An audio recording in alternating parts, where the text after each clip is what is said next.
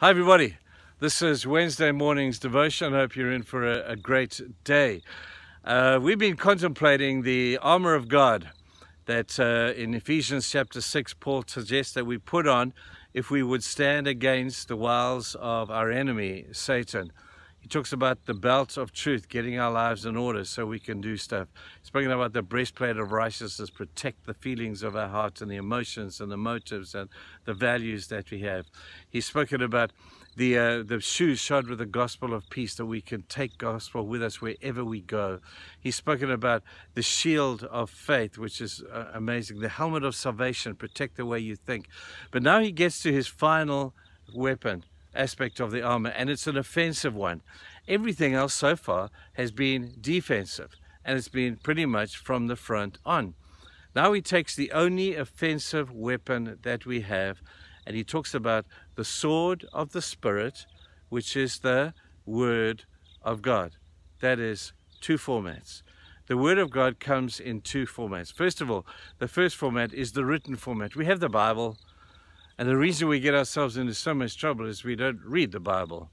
We don't memorize the Bible. And many of us sometimes will challenge even our belief of the Bible. Well, I have to tell you people, with all of the skeptics and the cynics out there, the Bible is the Word of God. Without it, you're not going to be able to survive in the battle against Satan. We have so many biblical precedents that have been set for us in this regard. Have a look at Jesus. After his baptism, went up onto the Mount uh, of Temptation. Three times Satan came at him and said, Jesus, man, you look hungry, 40 days. You haven't eaten anything. Why don't you just turn these rocks into bread, Jesus? If you're the Son of God, then do that. And Jesus said to him, Satan, it is what? It is written. It is written. Don't put the Lord to the foolish test, and man shall not live by bread alone. So three times, the three different temptations, funnily enough, the same temptations that Satan used against Jesus are the ones that he uses against us even today. He is so predictable. You know how he's going to come against you. So don't try and argue with him. Don't try and debate with him. Don't try and beat him with academic arguments. Don't try that. Just declare the word of God to him. Three times. Go and read it.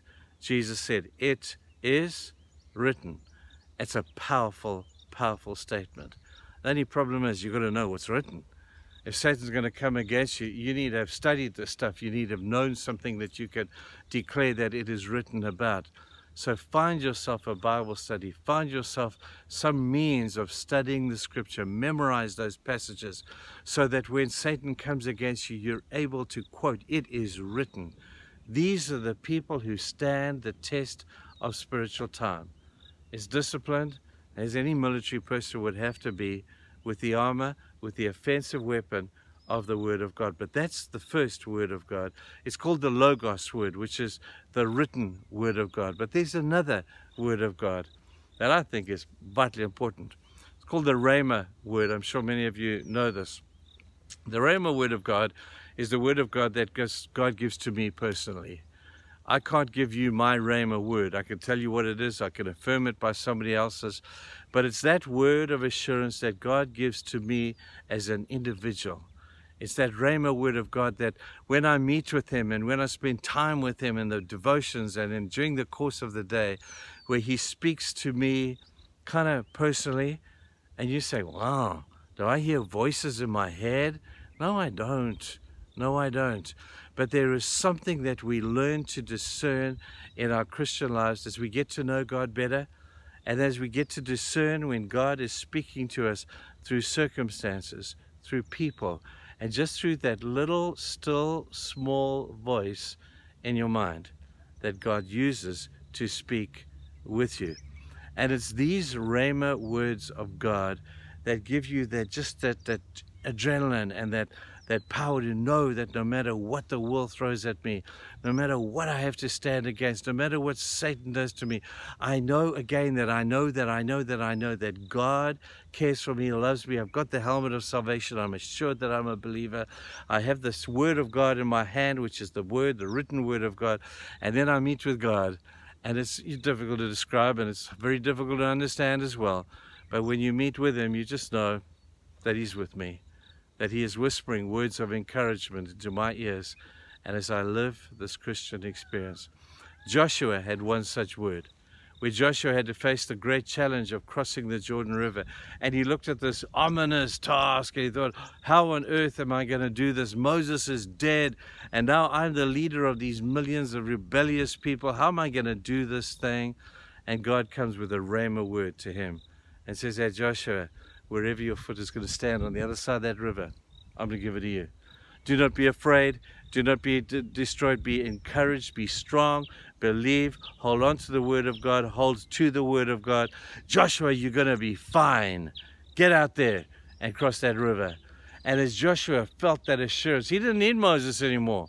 He had the assurance of the Rhema word of God that what God said he would do, for goodness sake, he's God, man. He's going to do it. And so that was the Rhema word that fired him up. So today, spend some time in the Word. Start reading the Bible, people. Memorize some scriptures. Go to a Bible study, for goodness sake. A cell group or find a group of people who study it together. Find strength from them. Find yourself a good church and begin to believe that the written word of God is what it is. It's your offensive weapon against Satan. Secondly, remember for the, look for the Rhema word. You're not going to get that casually doing life normally. You've got to spend time with God, get to know Him, get to know who He is, get to know His character, and wait for God to speak. Mm, isn't it an awesome life? Don't you love this? It's awesome. But go and have a fantastic day, you people. God bless you.